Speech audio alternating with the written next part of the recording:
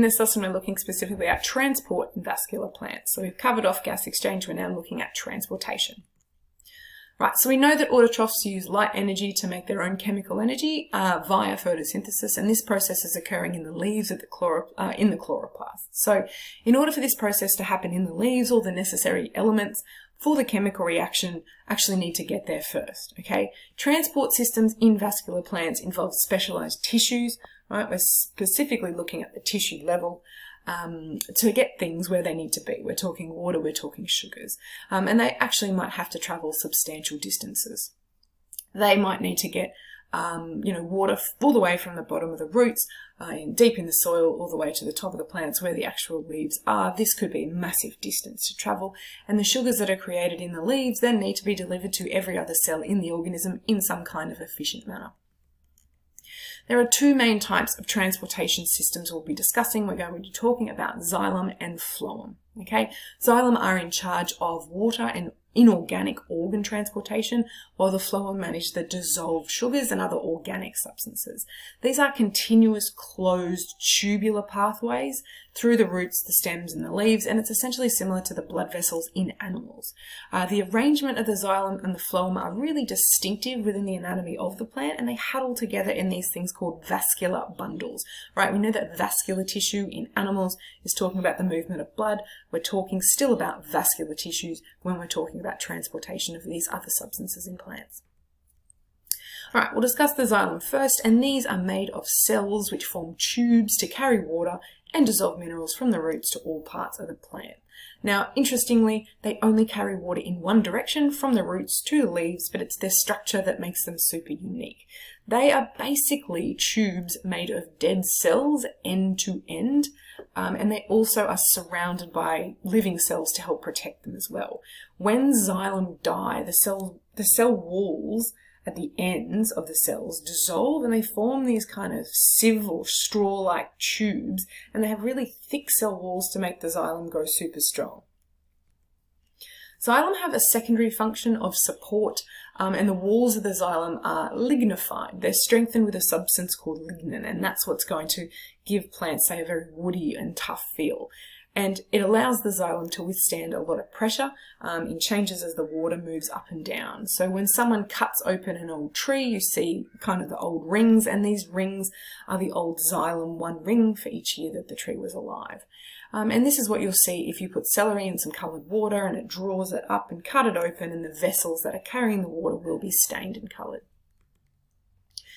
Now, so water is transported to all parts of the plant and when it reaches the leaves it's used for photosynthesis and then organic sugars are actually made. So these then need to be delivered to every single cell in the plant for energy. So now it's the phloem's time to shine. Now phloem cells are laid out end to end through the entire plant and kind of like the xylem cells, the phloem cells form these really big tubes. But these cells don't actually need to die to do their job. They aren't strengthened with lignin, um, and interestingly, mature phloem cells don't really even have a nucleus. At the end of the phloem cells, there's all these little holes, okay, and they look like sieves, so cytoplasm actually can pass through them, connecting side-by-side cells.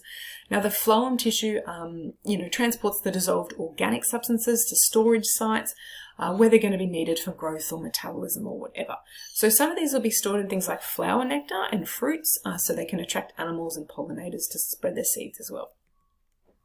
So let's look at the transport processes as a whole. Firstly, water and minerals have to actually enter the root cells, um, and these cells are specifically structured to increase their surface area for absorption. So you might actually hear them called root hair cells because they have these large projections coming at the ends that look like hairs. Now there's also some extracellular absorption of water and minerals, meaning that instead of passing through the cell membranes of these cells in the roots, they actually just pass around the cells and instead of using these, you know, the various types of membrane transports that they need, they kind of bypass that. This is, however, intracellular movement, but the extracellular movement would be happening around the cell walls. So eventually the water and the minerals will have to end up in the same place, regardless of how they entered through the roots or across the membranes or extracellularly. Um, once inside, they make their way to the xylem and they are moved upwards right from the roots to the leaves in a process called transpiration. Now this is driven by heat energy, but it's also facilitated by the cohesive bonds right? Cohesive bonds that help water molecules kind of stick together. So they sort of drag themselves up, but it's only in a one-way tube and it creates this differential pressure gradient. So they will only go in one way. Now, about 99% of the water taken in from the plant is actually lost via transpiration. So the plant's environment is really influential on how fast this process actually occurs.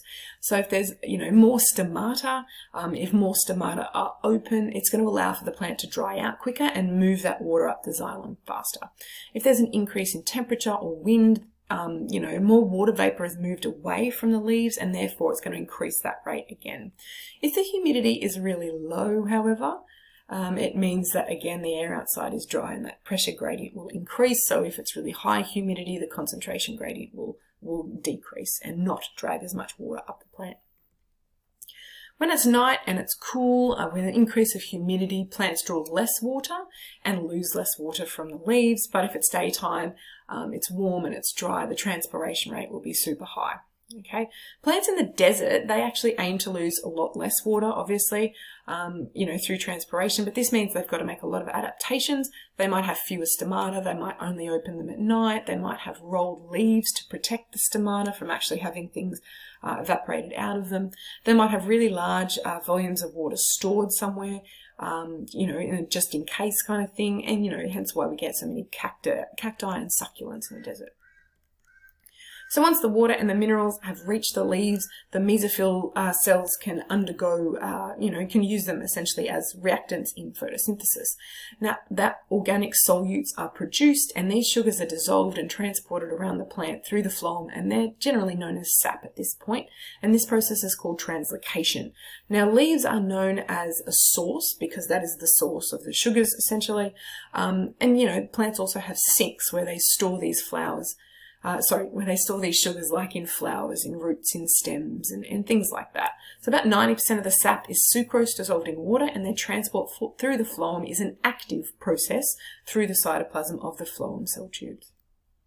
So there's so many complex processes occurring in plants at any given time, and while they may not have entire organs dedicated to transport and gas exchange, their specialized tissues are still perfectly adapted to suit their function, right?